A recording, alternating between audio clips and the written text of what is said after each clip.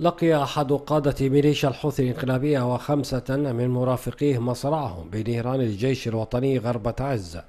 وقال مصدر عسكري أن قائد اللواء 17 مشاه المدعو علي عبد الرزاق الشرعي التابع للميليشيا لقي مصرعه بالإضافة إلى خمسة آخرين بنيران مدفعية الجيش التي استهدفتهم أثناء تجمعهم في وادي البحابح غرب جبل هان. وأضاف المصدر أن القصف أدى كذلك إلى احتراق طقم عسكري للميليشيات وكمية من الذخائر. قصفت ميليشيا الحوثي الانقلابية مواقع القوات المشتركة الواقعة في إطار مراقبة نقاط الارتباط التي وضعتها لجنة الرقابة الأممية لتنفيذ إعادة الانتشار في مدينة الحديدة غرب البلاد.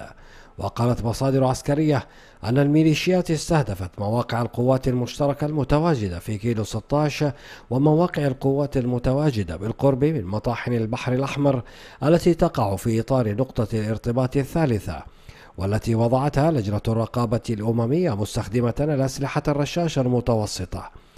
وأضافت المصادر أن الميليشيات قامت بعمليات قنص على مواقع القوات القريبة من مستشفى 22 مايو في شارع الخمسين والتي تقع في إطار مراقبة نقطة الارتباط الأولى. وفي وقت سابق شنت ميليشيا الحوثي قصفا مدفعيا عنيفا على مواقع القوات المشتركة شرق مديرية الدريهمي. استخدمت قذائف مدفعية الهاون الثقيلة وتواصل ميليشيا الحوثي استهداف مواقع القوات الحكومية بشكل متواصل وسط تصعيد وتعد على الهدنة الأممية ونقاط المراقبة في مدينة الحديدة.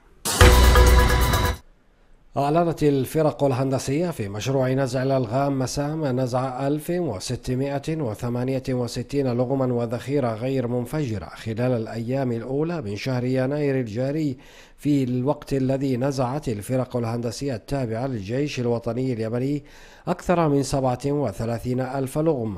كانت قد زرعتها ميليشيا الحوثي في مناطق عدة بمحافظة حجة.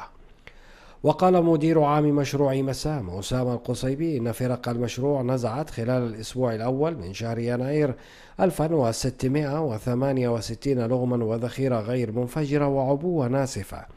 إلى ذلك نزعت الفرق الهندسية التابعة للجيش الوطني أكثر من 37 ألف لغم كانت قد زرعتها ميليشيا الحوثي في مناطق عدة بمحافظة حجة.